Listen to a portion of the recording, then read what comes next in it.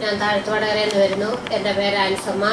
ഞാൻ എന്റെ മകൾക്ക് വേണ്ടിയാണ് സാക്ഷ്യം പറയുന്നത്. ഞാൻ കഴിഞ്ഞ ജനുവരി ഫെബ്രുവരി മാർച്ച് മാസങ്ങളിൽ ഒരു നിയോഗം സമർപ്പിച്ചുകൊണ്ട് എന്റെ മകൾക്ക് ഗൾഫിന് പോകാൻ ഒരു അവസരം ഒരുക്കി തരണമെന്ന് സമർപ്പിച്ച അപേക്ഷ ഇവിടെ വെച്ചിരുന്നു. അച്ഛനോട് ഞാൻ പറഞ്ഞിരുന്നു.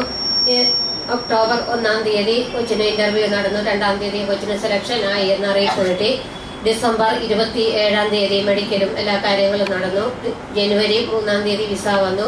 കൊച്ചു ജോലി റിസൈൻ ചെയ്ത് പന്ത്രണ്ടാം തീയതി വീട്ടിലേക്ക് വന്നു.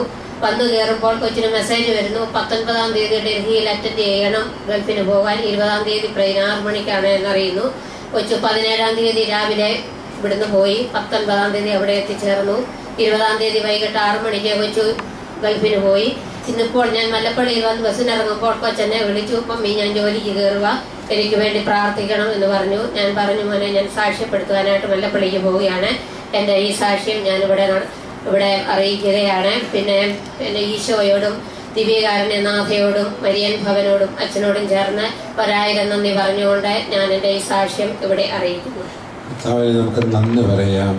ജോലി ലഭിക്കുവാൻ ആഗ്രഹിച്ചുകൊണ്ട് ലഭിച്ചു എന്ന പ്രത്യാശയോടുകൂടി ഈ മകൾ പ്രാർത്ഥിക്കുകയായിരുന്നു. അത് അവൾക്ക് കിട്ടി. തന്റെ മകൾക്ക് ജോലി ലഭിച്ചത് നമുക്ക് സന്തോഷത്തോടെ കരമുയർത്തി ദൈവത്തിന് നന്ദി പറയാം. Hallelujah, hallelujah.